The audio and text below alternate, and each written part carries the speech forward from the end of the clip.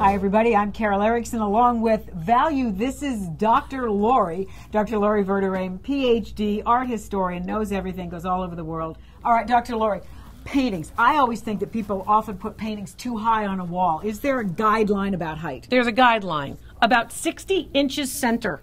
60 So inches center. I was made for museums because I am five six.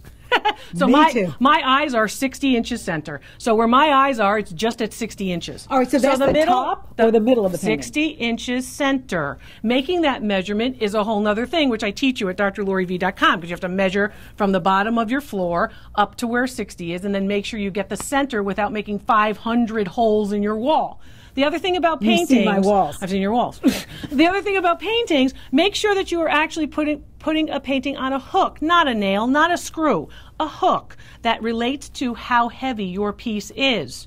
Okay, so don't just say, "Oh, there's a nail there. I'll just put it on that nail." Make sure you use a hook that relates to how heavy your painting is. But the museum standard is 60 inches center. Now, sometimes you will see, of course, salon style, like we have Yes. here right? Up floor to ceiling salon style. But basically, most people are comfortable with 60 inches center. If we were in England, the British like it up higher, so they're usually about 62 inches center. So if you've got frames that are different height, pictures of different sizes, Right. everyone at least the middle of every one is at the same height at 60 inches. If you like 60 inches center, that's a museum standard, has been for many, many decades. If you want to learn how to actually do a design wall, right, maybe a salon style wall or multiples, we can teach you that at drloriv.com too, or we'll do one on Value This with Dr. Oh, Lori Oh, in a future episode. That would be fun. I Sure. can't wait to drive a few nails into the walls. That's right. All Hooks, hooks, hooks. Oh, sorry. Hooks. Oh, I'm, I'm already my bad. All right, Dr. Lori V, just phenomenal. Thank you so much. Uh, all great information. Law of threes, law of 60 inches center on your paintings.